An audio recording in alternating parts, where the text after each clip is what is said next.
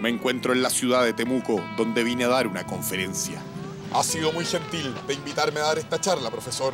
Creo que estuve particularmente ameno. Eh, oh, claro, por supuesto.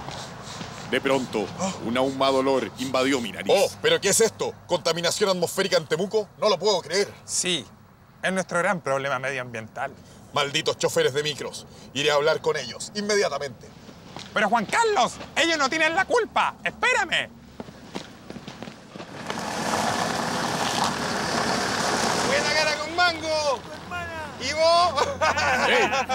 ¿Ah? ¿Ustedes manejan estas máquinas del demonio? Eso se comenta, conejo. ¿Y qué se creen contaminando esta hermosa ciudad? ¿Contaminando? Ese es uno de los pocos delitos del que no tenemos toda la culpa. Juan Carlos, las micros no son las principales responsables de la contaminación en Temuco. Escucha al anciano, idiota. ¿Y quién tiene la culpa entonces? ¡La leña! ¿La leña? Oh, oh, disculpen, buenas gentes. Mejor nos vamos, profesor. Vamos. El profesor me llevó a la cumbre de un cerro, desde donde podía ver con estupor la enorme nube de humo que cubría la ciudad. La leña es el cuarto combustible más usado en Chile, después del petróleo, el gas natural y la hidroelectricidad. Pero acá en el sur es la fuente energética más importante. Lamentablemente, el uso masivo de leña húmeda en las casas nos tiene así. ¿Leña húmeda? Sí, mientras más húmeda, la leña genera menor energía y mayor cantidad de contaminantes. ¿Y por qué no usan leña seca? Porque es mucho más cara. Elemental, querido profesor. Para conocer el problema en profundidad, nos dirigimos a una casa que emanaba humo en exceso. ¡Sí, diga! ¡Ah! ¡Guachimingo! ¡Juan Carlos! ¿Qué hacen aquí? ¡Pasen! Y fue así como me vine a vivir a Temuco. Y cuéntame, ¿qué te trae por acá? Tu chimenea, guachi, es una de las más contaminantes de la ciudad. ¡Oh, lo sé! ¡Maldita leña húmeda! Tiene un humo muy peligroso, lleno de resinas y sustancias. Y su mala combustión llena mi casa de enfermedades respiratorias y virales. Y calienta mucho menos. ¿Y por qué no usas leña seca? ¡Oh! Solo vivo de mis esporádicas apariciones en televisión. Y el dinero no me alcanza para comprarlo. ¡Me estoy muriendo de frío! ¿Qué les parece si vamos donde mi sobrino Juan Osvaldo? Él siempre tiene leña seca. ¡Ah! ¡Ah! Hola, sobrino. ¿Ah? ¡Ah! Tío Cirilo, qué gusto. Veo que viniste con amigos. Qué bueno, porque así me ayudan a trasladar toda esta leña a mi bodega. La leña húmeda la almaceno para el próximo año. La dejo en un lugar ventilado donde no la moje la lluvia.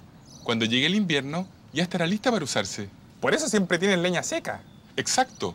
Hombre precavido vale por dos. Mientras más seca sea la leña, mayor calor entrega y contamina mucho menos, porque a gran calor se consumen muchos de los gases que salen al medio ambiente. En el fondo, tira menos humo. ¿Y cómo sabemos si la leña está húmeda o seca?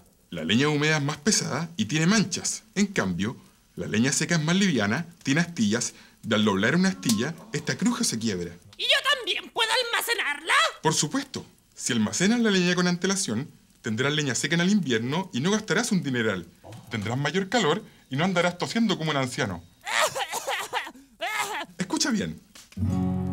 La leña es muy buena amiga, solo tienes que escuchar esta canción. Fíjate bien que esté muy seca, es el secreto de una mejor combustión. La leña húmeda provoca un humo que es perjudicial, aunque sin duda es más barata, al final nos va a matar.